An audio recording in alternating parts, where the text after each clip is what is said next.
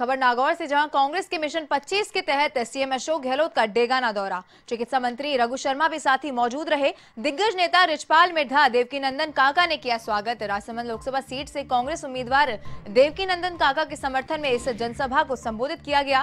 CM Ashok Gehlot का डेगाना दौरा बता रहे हैं आपको, जहाँ पर दिग्गज नेता रिचपाल भी साथ ही मौजूद रहे। सीएम अशोक गहलोत का डेगाना दौरा बता रहे हैं आपको।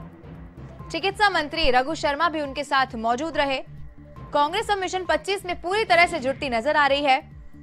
दिग्गज नेता रिछपाल मिर्धा, देवकी नंदन काका ने भव्य स्वागत किया। सीएम अशोक गहलोत का डेगाना दौरा बता रहे हैं आपको। जिसके साथ आपको बता दें कि रघु शर्मा भी मौजूद रहे। राजसमंद लोकसभा सीट से कांग्रेस उम्मीदवार देवकी नंदन काका ने भव्य स्वागत किया। दिग्गज नेता रिछपाल मिर्धा ने भी भव्य स्वागत किया।